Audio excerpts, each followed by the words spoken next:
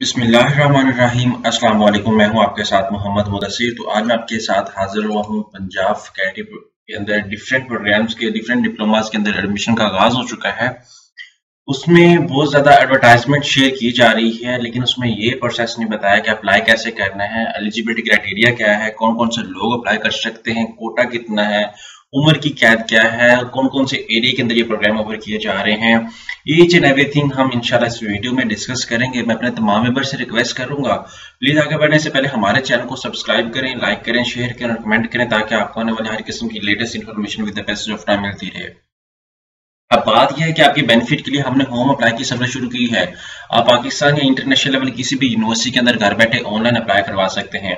Online apply के साथ साथ अगर कोई डॉक्यूमेंट टीचर्स करने हो, कोई बैंक का चलान पे करना हो, या कहीं भी आपने रजिस्ट्रेशन करवानी हो, या वट एवर जो भी आप कहीं अप्लाई करना चाहते हैं तो घर बैठे अभी हमारे व्हाट्सएप नंबर ज़ीरो तीन सौ एक, बीस, सताईस, छह सौ सत्तर पे कॉन्टेक्ट करें।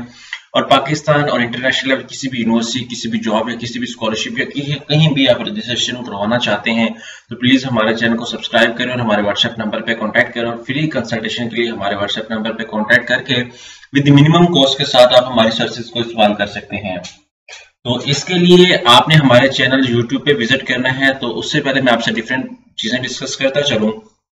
ये एक एडवर्टाइजमेंट है जिसमें आपको बताता चलूँ कि इसकी जो लास्ट डेट है अप्लाई है, वो 15 नवंबर 2022 है।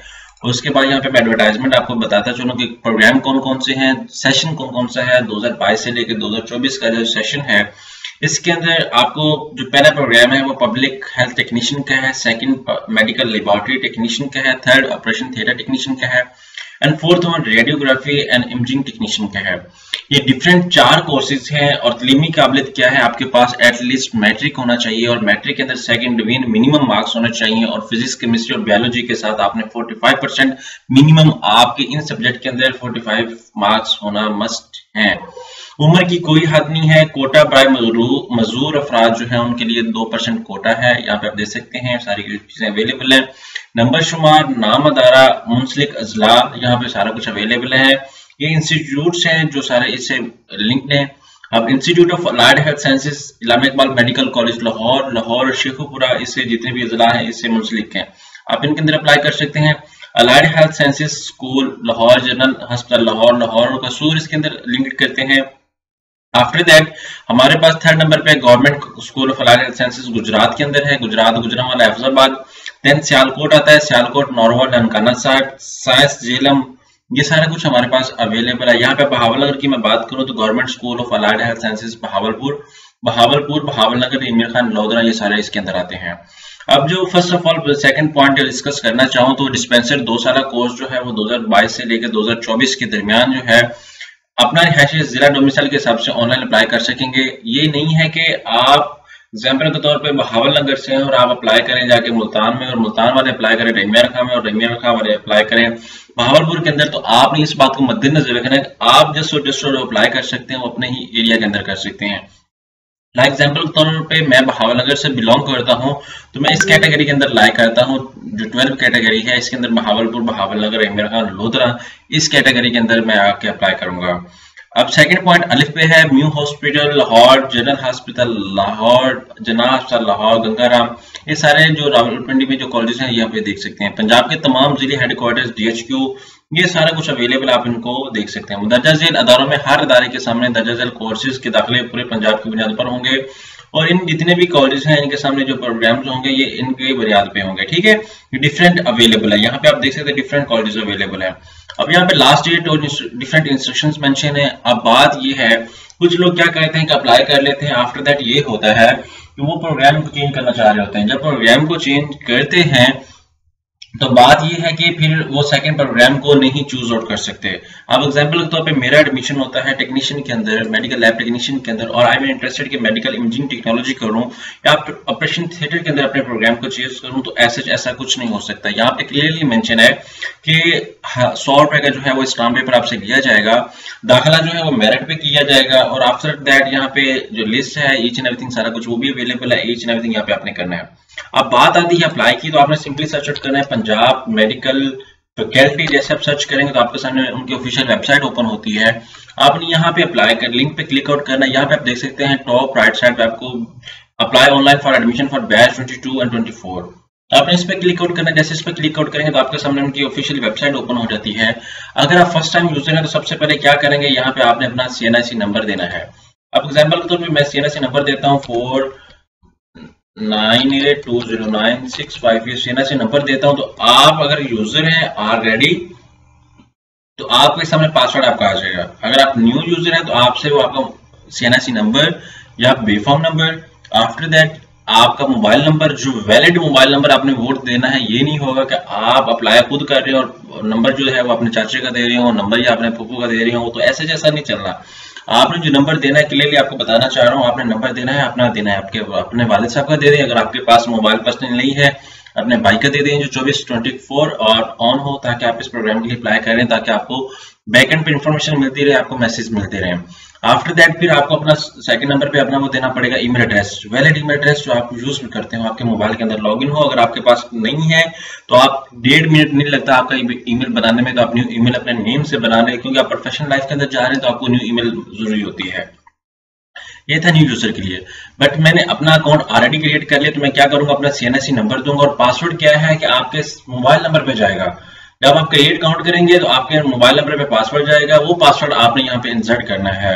और एट अप्लाई के वक्त आपके पास वो मोबाइल नंबर होना मस्ट है ताकि आपको वो पासवर्ड मिल सके। अब मैं लॉगिन पे क्लिक करता हूँ, जैसे लॉगिन करता हूँ तो यहाँ पे मेरे सामने इन्फॉर्मेशन आ जाती है। यहाँ पे हमारे सामने चार स्टेप्स अवेलेबल है। सबसे पहले हमने अपनी प्रोफ़ाइल की इन्फॉर्मेशन ऐड करनी है। प्रोफ़ाइल के अंदर मैं अपना सी नंबर ऐड करता हूँ। नेम ऐड करता हूँ, अपने वाले साहब का नेम ऐड करता हूँ। बात का लोगों का ये भी क्वेश्चन होता है कि सर इसके लिए जस्ट फीमेल अप्लाई कर सकती हैं या मेल अप्लाई कर सकती हैं? तो आपको बताता चलूँ, इसके अंदर दोनों जेंडर जो है वो अप्लाई कर सकते हैं। ना तो आपको यहाँ पे उम्र की कैद है, ना आपको ये कैद है कि आपने ओनली फीमेल कर सकें, ना ये कैद है कि ओनली मेल कर सकें। दोनों जेंडर कर सकते हैं, कोई उम्र की कैद नहीं है फ्री ऑफ़ कोर्स ये कोर्सेज है अब नेक्स्ट मैं बात करूँ तो यहाँ पे मोबाइल नंबर आ गया, यहाँ पे ईमेल एड्रेस आ गया और यहाँ पे आपने वैलिड अपना एड्रेस देना है। अब मैं बात करूँ कुछ लोग विलेजर एरिया से होते हैं तो उनका यहाँ पे स्ट्रीट नंबर हाउस नंबर ये चीज़ें नहीं मेंशन होती तो आपने प्रॉपर देना है। एग्ज़ाम्पल के तौर पे आई एम फ्रॉम चक मदरसा तो मैं यहाँ पे मेंशन करूँगा चक मदरसा ठीक है? Post office district Bahawal Nagar तहसील डिस्ट्रिक्ट बहावल नगर प्रॉपरली एक राइट वे से। आफ्टर दैट जैसे ये मेंशन करूँगा, उसके बाद आपसे नीचे डॉक्यूमेंटेशन की डिटेल मांगी जाएगी। तो सबसे पहले आपने क्या करना है कि अपनी तस्वीर चूज़ करनी है। यहाँ पे आपने तस्वीर चूज़ करनी चूज़ करने के बाद अपलोड पे क्लिक करना है। देन सेकंड नंबर पे आपने अपनी सी की फ्रंट साइड चूज़ करनी है। अपना यहाँ पे अपडेट कर आप आपने क्लिक करना है अपलोड पे। आफ्टर दैट आपका डोमिसाइल मांगा जाएगा, अगर आपका डोमिसाइल नहीं है तो यहाँ पे भी आप अपना परमानेंट रेजिडेंसी जिसे पीआर कहते हैं, वो अगर आप अपडेट कर दें, अगर आपके पास वो नहीं है तो आप क्या करेंगे, अपने वाले साहब का सी अपडेट कर दें। ठीक है? उसके बाद ये सारी चीज़ें आ जाएँगी यहाँ पे, और यहाँ पे आपने अपडेट कर देना, और यहाँ पे प्रोसीड पे क्लिक कर देना। जैसे करेंगे तो आपके सामने नेक्स्ट आ जाएगा। अब यहाँ से आपसे मैट्रिक के मार्क्स पूछे जाएँगे, ठीक है? मैंने ऑलरेडी ऐड कर दी, यहाँ पे आपने मैट्रिक के मार्क्स ऐड करना है अपना बोर्ड ऐड करना है, अपना टोटल मार्क्स ऐड करना है आपके 1100 में से कितने मार्क्स आए हैं। अब 1100 में से एग्ज़ाम्पल के तौर पे मेरे मार्क्स आए हैं, मैं बात करूँ तो मेरे 1050 मार्क्स आए हैं। और पासिंग ईयर था एग्ज़ाम्पल के तौर पे मेरा 2022 में कर लूँ, जनवरी के अंदर मैं पास आउट हूँ, यहाँ पे मैं रिज़ल्ट चूज़ कर लेता हूँ। रिज़ल्ट चूज़ करने के बाद यहाँ पे मैं अपडेट करता हूँ अपडेट करने के बाद अब यहाँ पे क्या आता है? अब मैट्रिक के अंदर आपके पास टोटल होते हैं मार्क्स वन जबकि आप जब आते हैं एफएससी के अंदर तो आपके मार्क्स हो जाते हैं 200 इन सब्जेक्ट्स के अंदर। अब एग्जांपल के तौर पे मेरा जो फिजिक्स है फिजिक्स के अंदर मेरे टोटल 150 मार्क्स था और फिजिक्स के अंदर मेरे मार्क्स आए हैं 135 मार्क्स आए हैं। अब केमिस्ट्री के अंदर मेरे मार्क्स आए 87 मार्क्स आए हैं और टोटल 150 थे। आफ्टर दैट मैं बात करूँ बायोलॉजी की बात करूँ तो यहाँ पे मैं दूसरा मार्क्स जो मेरे आए एग्ज़ाम्पल के तौर पे 149 आए हैं, डेढ़ में से तो आपने इसी तरह अपडेट कर देना है, ठीक है? अब यहाँ पे सारी बात की, यहाँ पे आपने सेव पे क्लिक कर लेना है। अब सेव पे क्लिक क्यों नहीं हो रहा? क्योंकि मेरे ऑलरेडी यहाँ पे डाटा एंट्री ऑलरेडी अवेलेबल है। यहाँ पे आर इंटरमीडिएट क्वालिफाइड अगर आप हैं तो यहाँ पे वो भी चलिए चेकआउट कर सकते हैं। अगर नहीं है तो आपने नहीं करना, ठीक है? ठीक है? इट्स बेस्ट कि आप अपनी इन्फॉर्मेशन यहाँ पे ऐड करें, अगर इंटरमीडिएट आपने की हुई है। आफ्टर दैट आप प्रोसीड पे क्लिक करें। प्रोसीड पे क्लिक करने के बाद यहाँ पे कैटेगरी चूज़ की जाएगी। आप डिस्पेंसर क्लिक करना चाह रहे हैं।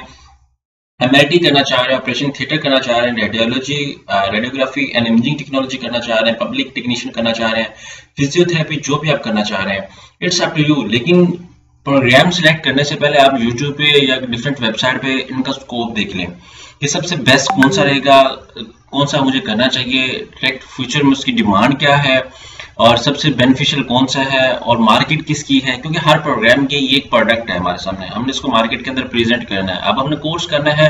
कोर्स एक साल लगाना है तो आफ्टर दैट हमें इसका रिज़ल्ट भी तो मिलना चाहिए ना। सो दैट्स वाई उससे पहले हम लोग क्या करते हैं? हम लोग सर्च नहीं करते उसकी बैकेंड पे नहीं जाते उसके लॉजिक पे नहीं जाते तो हमें क्या करना चाहिए? इसके लॉजिक पे जाना चाहिए। इसको सर्च करना चाहिए इसकी थोड़ी सी इन्फॉर्मेशन लेना चाहिए कौन सा प्रोग्राम मेरे लिए यूजफुल रहेगा। सो so, एग्ज़ाम्पल के तौर पे मेरे पास जो प्रोग्राम आता है तो मैं इसको चूज़ कर ऑपरेशन थिएटर चूज़ कर लेता हूँ। अब ये भावनगर कैंपस में ऑफ़र किया जा रहा है, लाहौर में ऑफ़र किया जा रहा है, ये प्रोग्राम आपको एग्ज़ाम्पल के तौर पर मैं भावनगर के अंदर लाया करता हूँ, मैं भावनगर चूज़ कर लूँगा।